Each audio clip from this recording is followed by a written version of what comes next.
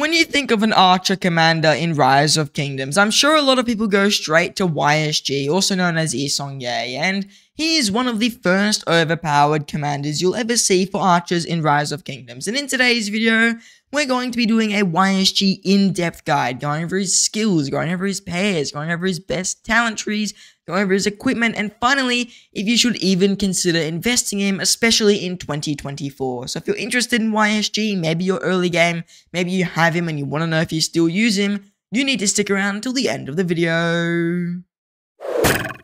Now, let's just start off by going over YSG's skills. Now, I'm going to say one thing really quickly. His skill kit is very basic. You'll notice as I go through, there's nothing too complicated here. First of all, we have his active skill, and when it's not expertise, it does 1400 damage factor to 5 enemies in a fan-shaped area. That is fairly decent. Then we look at his second skill. This is actually one of his strongest skills, funny enough. It gives him a 10% chance to gain 100 extra rage. That's pretty much like giving him the feral nature talent tree in a skill, which is really nice. It means you can save a lot of talent points here and put them into other trees such as the archer tree. And then he also gains a 100% attack for 3 seconds, which is a lot of attack to be gaining. So YSG's second skill is pretty nice. The attack bonus, while it is a temporary bonus, is ridiculously strong, the amount of attack you can get. And the rage gain is really good with a lot of commanders who have slow slow rage gain. It pretty much unlocks a lot of opportunities for YSG to be used in the end game, in the early game with the commanders such as Thutmose, and I'll discuss that later, but it does give him a lot more potential because the rage gain is just a very high number.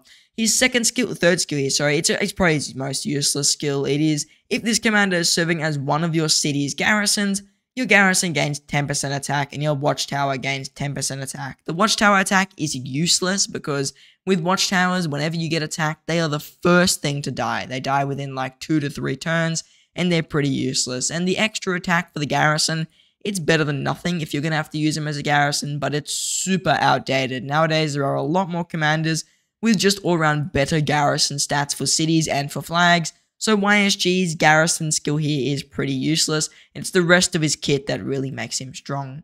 Moving on to his fourth skill, this is an insane skill, it's Destiny, and it pretty much allows him to deal 50% more skill damage at all times. There's no premises to this.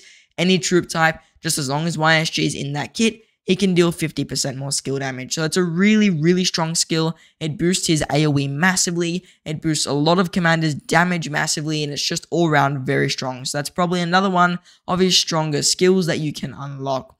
Then finally, YSG's expertise, and this is probably another one of his strongest skills, it's basically a boost to his active skill. It allows him to deal direct damage to 5 enemy troops, damage factor 1700, in a circle-shaped area. It doesn't say that it changes it in here, but it actually does change it. So this is probably his strongest thing in his whole entire kit. It gives him 300 extra damage factor to 5 targets. It makes it a circle and it makes him able to AoE barb farm. So YSG's expertise, definitely one of his strongest skills and it is certainly worth the gold heads and we'll talk about that in a minute. Something we have to discuss before we discuss YSG's best skills is his museum relic as well. And his museum relic is actually pretty damn good. I mean, he gets 5% skill damage. That's kind of useless because his kit is already high in skill damage.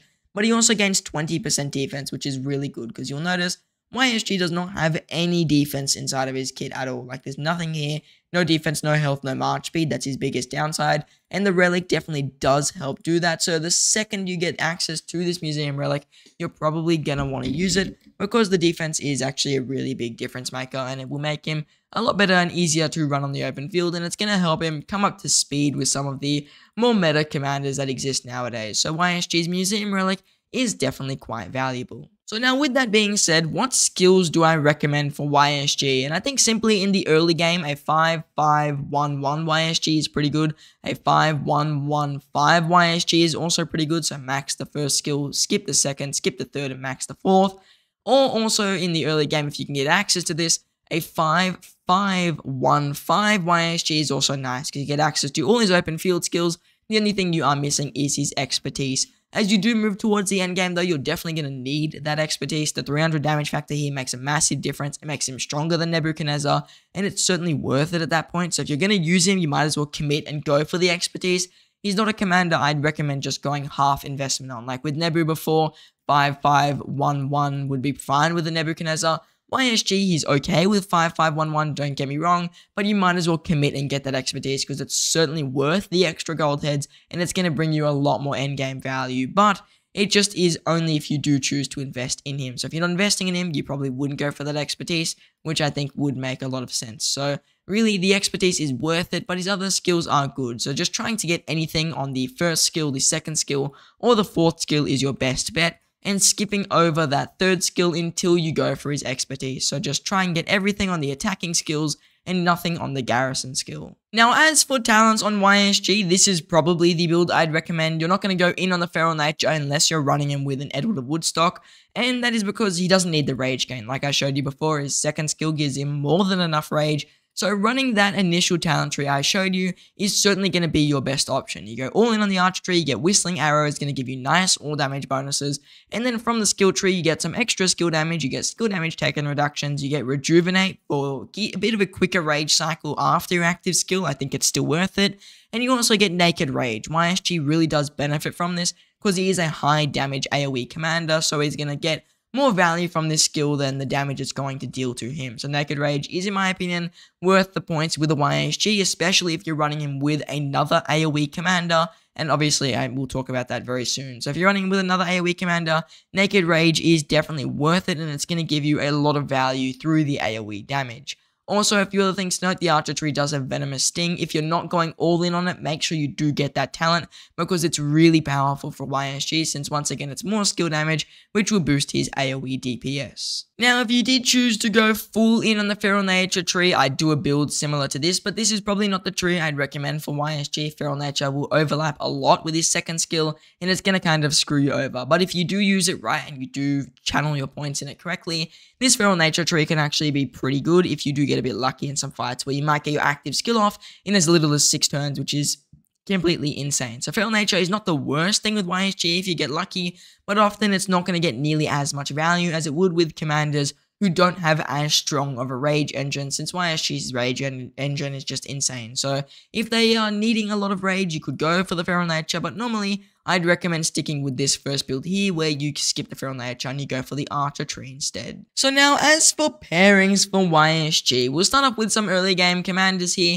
And if you're in the really early game and you don't, you're only getting YSG and just YSG, any epic archer commander will work. Herman, Kusunoki, Kira, Ish, Imhotep, all those commanders will work fine with YSG. They're epic commanders, they're solid, I mean, for KVK 1 and KVK 2, and they'll just work with him. So if you want Kusunoki for the AoE, that's certainly reasonable. If you also want to get Hermann Prime for the single target silence and the rage reduction, it's also reasonable. So any epic commander with YSG, preferably you'd go Hermann or Kusunoki, or if you have Kira expertise, she's probably slightly better than both of them, and you'd be in a good position. So YSG with any of the three epic archer commanders here, will be perfectly fine. Even if you do have an Imhotep for whatever reason, he'll also work with Imhotep. Will it be OP? Not really, but it would certainly work. Other than that, for the early KVKs, you haven't got too many options for legendary commanders.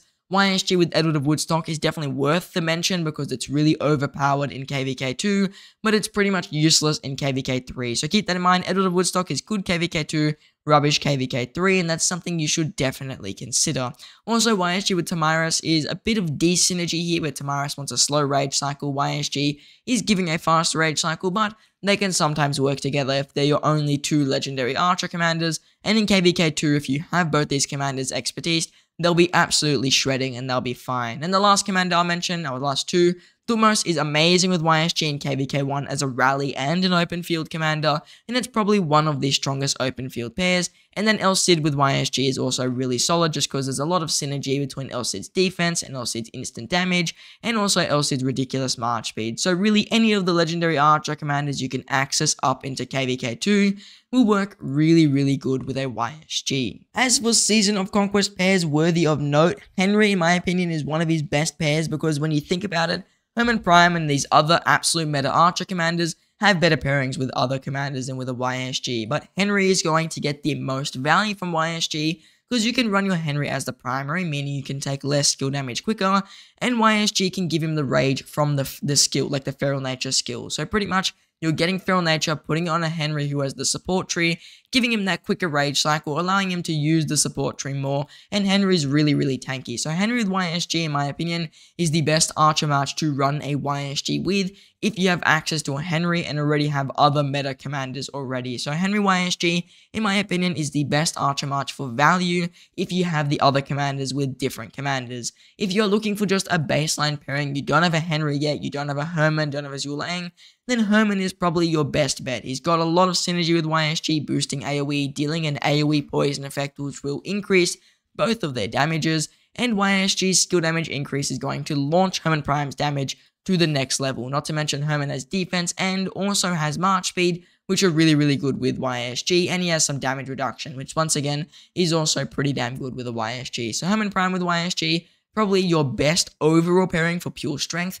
but I think Henry gets the most value from a YSG if you do have him unlocked, because Xuelang with Herman is just going to be a better march since it's just stronger. And that being said, Xuelang also works with YSG, and Boudica works with YSG and Ashurbanipal. So really any of those meta commanders, Herman, Boudica, Xuelang, Henry, and Ashurbanipal are all very good with their YSG, and you'll notice they'll perform pretty adequately. Other than that, I mean, there are some niche pairs. You got Ramses who could work with him, and that's probably about it. I mean, also Nebuchadnezzar, but he's kind of out of the meta. Same thing with Ramses. So they're going to struggle, but they could work with him in a pinch if they're your only commanders and they'll perform okay. But I wouldn't recommend Cyrus and commanders like that because they are a little bit too squishy to be run with an already fairly squishy commander. So, so in summary, YSG's best pairing is, in my opinion, a Henry for value, or best pairing for pure trades would just be a Herman because he is the strongest, or a Xuelang because he is also one of the strongest archer commanders in the game. So really, Henry, Herman, or Xuelang are going to be your absolute best bets with the Season of Conquest March, with a YSG. Now, as for equipment on YSG, I mean, you can get a little bit creative here with what you run. I recommend running Ring of Doom. I mean, I think that's a fairly obvious one because YSG doesn't really have much march speed. Even the commanders you put him with, they're not going to be ridiculously fast. So Ring of Doom, I think that's fine to put it with him.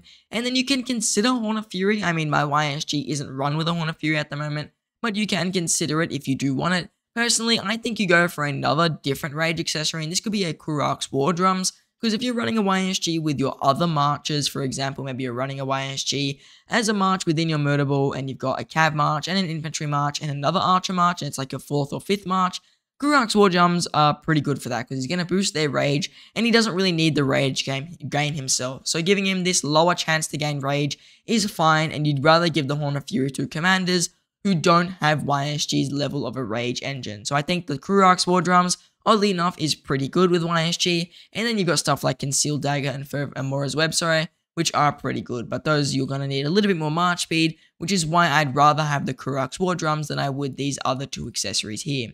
One thing I see a lot of people say is the one that allows you to increase skill damage. I'm not sure which one it is. I think it's the Pendant of the Eternal Night.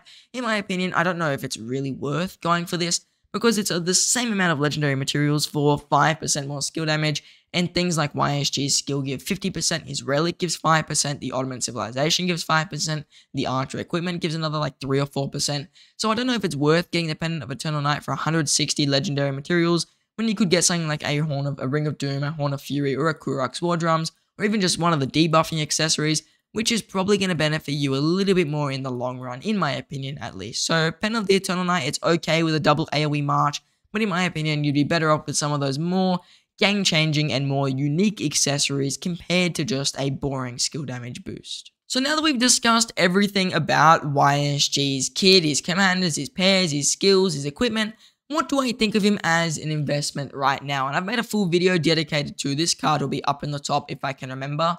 And really, I mean, he's an okay investment. He's good for KVK 1, he's decent in KVK 2, he's decent in KVK 3, and he's decent in Season of Conquest. But there are better commanders. You've got Xuelang, you've got Henry, you've got Boudica, you've got Herman. All these other commanders are just stronger commanders than YSG, and they've got more endgame value. Even a Ashurbanipal, in my opinion, has a bit more endgame value than a YSG. So overall, I think YSG is a decent commander nowadays. He still performs really well, and his equipment and all that is still fairly up to date. There's nothing that's majorly new that makes him bad. So I think overall, YSG is decent if you want that short-term investment, like I've said a lot. But in terms of a long-term investment, you're better off with those much more meta commanders who have stronger pairings and stronger options than a YSG would. So overall, in my opinion, YSG is a solid investment, but he's not the best in the game. So now that we've made it to the end of today's video, I just want to ask you guys to do me a very small favor, and that is consider subscribing to my YouTube channel. I push out some of the best Archer content I can. I'm going to be remaking all my in-depth guides for the older Archer commanders. So if you're an Archer man, you're considering investing in Archer commanders, Trust me, my channel is going to be one, oh, that's actually pretty good, one of the better channels to subscribe to. So if you're interested in Archer content, if you want to be able to use Archer commanders effectively, you have to subscribe to the channel. And also, it really does support me as a creator. So to all those people who are already subscribed, it's very, very much appreciated. And to all the new subscribers, a massive thank you to you as well. Now, I just want to thank you guys all for watching, and I hope to see you in the next one.